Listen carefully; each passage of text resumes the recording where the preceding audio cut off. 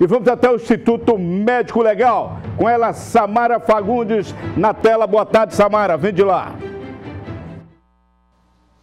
Boa tarde, Bareta. Boa tarde para você que acompanha o Tolerância Zero. Vamos às informações do Instituto Médico Legal, onde nas últimas 24 horas foram registrados seis corpos, três vítimas de arma de fogo. Dois deles têm um destaque, não estão identificados no IML, mas foram mortes aí resultados de confronto com a polícia, uma ação do Batalhão de Rádio Patrulha. Um foi no município de Maruim e o outro no município de Laranjeiras. Eles revidaram e acabaram aí trocando tiros com a polícia e morreram. Eles morreram já no hospital de urgência de Sergipe, segundo o batalhão de rádio patrulha.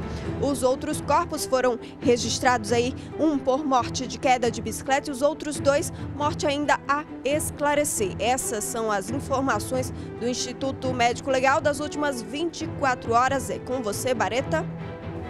Daí a violência não para tanto na capital quanto no interior. O cara ir confrontar contra a polícia vai morrer, pô, não tem nem dúvida. Você vai tocar tiro com a polícia, vai trocar, vai morrer, rapaz.